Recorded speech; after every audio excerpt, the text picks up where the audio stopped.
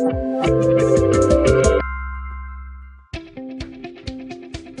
everyone, my name is Pierre de Renincourt and welcome to my course Revit Architecture Design Development Fundamentals. I'm an AEC curriculum manager here at Pluralsight. In this course, we're going to learn about the various types of families we have available to us within Revit.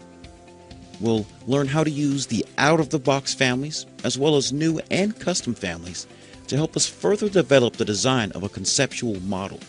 Doing so will help us create and communicate our design intent. Some of the major topics we will cover in this course include sketching generic walls, floors, and roofs, generating area and room plans, working with system families, working with curtain walls, working with loadable families, and also modeling stairs and railings. By the end of this course, you'll know how to further develop the design of a conceptual model by creating and placing new and customized loadable and system families into your Revit model. Before beginning this course, you should be familiar with the various phases of the architectural design process, as well as some conceptual design fundamentals.